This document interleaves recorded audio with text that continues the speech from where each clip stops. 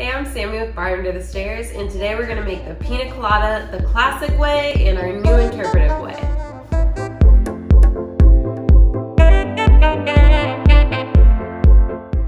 So the pina colada was made back when Coco Lopez first came out, and that was in the 40s. It was developed by two separate bartenders in Puerto Rico about the same time. So both of them claim to be the original. They're pretty much the same drink, one served over ice and one served over crushed ice.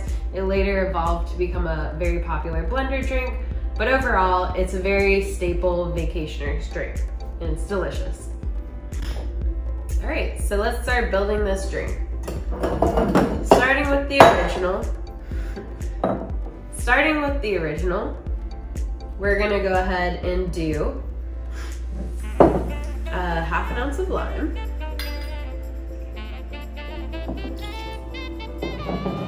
We're gonna do an ounce and a half of pineapple juice. An ounce and a half of cream of coconut.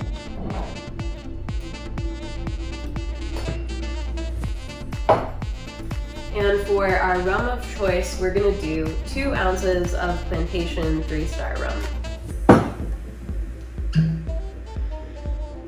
Yeah, that's some pretty standard white rum there and it's delicious. Okay, let's add some ice.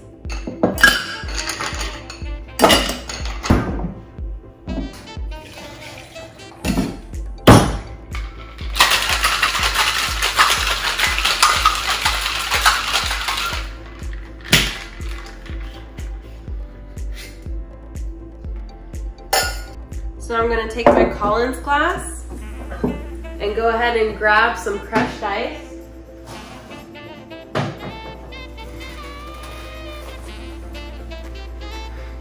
To get crushed ice, you just need to go ahead and grab a Lewis bag. It's a canvas bag that you fill with cubes of ice, such as this. And then you fold it down to seal it.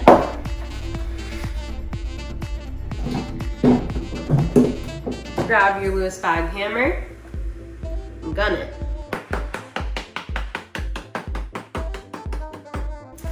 Fill your Collins glass with the crushed ice.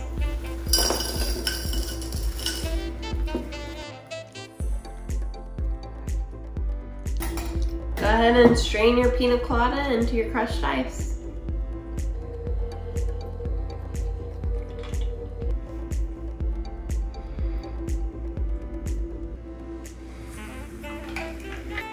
So I'm gonna top it off with some aromatic bitters. It's delicious. I just wanted to add a little more nose since this has a lot of baking spices. It goes well with the coconut and the pineapple. So you get a good whiff of that. I'm going for a drink. To garnish, I'm gonna cut a pineapple wedge to just lay on the side.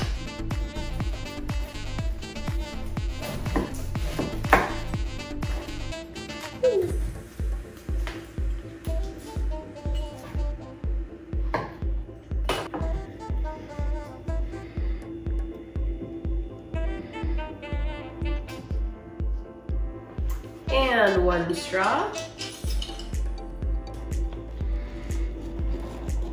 Last but not least, we obviously need a little tiny umbrella.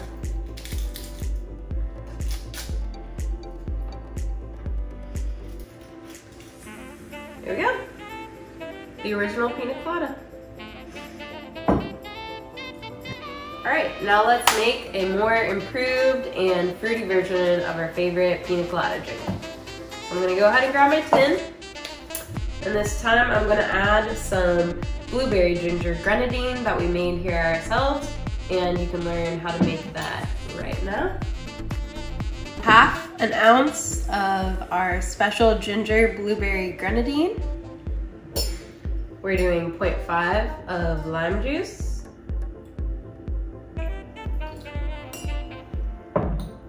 0.75 of cream of coconut.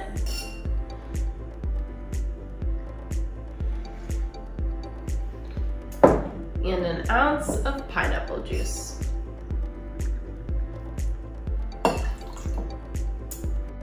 We're gonna add one ounce of the same plantation rum that we did on our first pina colada.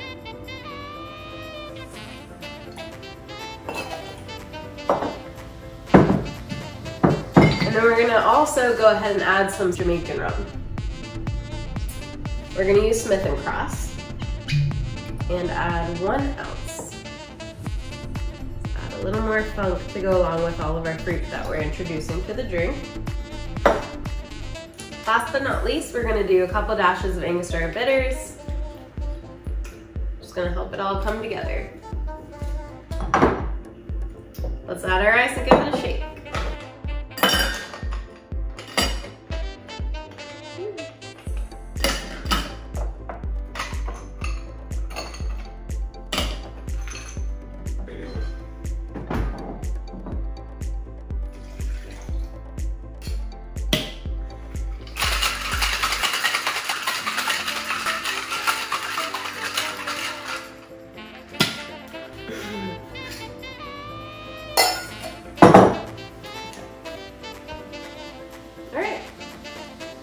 Grab a double rocks glass, add one big rock. We're gonna get our fine strainer and our Hawthorne strainer and go ahead and just strip out any ice chips. Okay. For a garnish, I'm going to do a pineapple, but I'm also gonna do some blueberries and a lime wheel.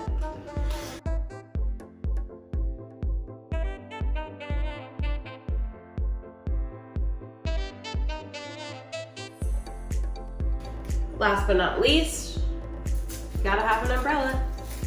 You gotta have an umbrella. Pina colada number two.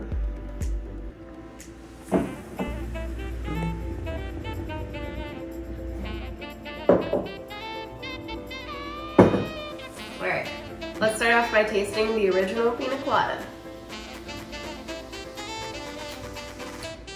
Super creamy. The pineapple is delicious and smooth. I can't even taste the rum in this. It is just a dessert in a glass and it reminds me of being on a beach or a cruise ship or whatever people like to do when they drink pina coladas. I could drink probably like three of these. Now let's go to our improved fruity pink pina colada.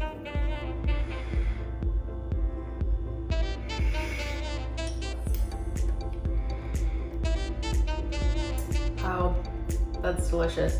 The way the grenadine comes together with the Smith & Cross, that Jamaican rum spice with the ginger and the blueberry and the pomegranate grenadine. It doesn't get better than that. This is a little pink pina colada dream. Mm. Really get the spicy notes from the ginger. It actually goes super great with the pineapple. Pineapple and ginger are just the perfect flavors to go together in a pina colada. I'm Sammy with Bar Under the Stairs. Let us know how you make your pina coladas or if there's any other vacation drinks that really play a big part in your chilling time. And have a great day. Thank you.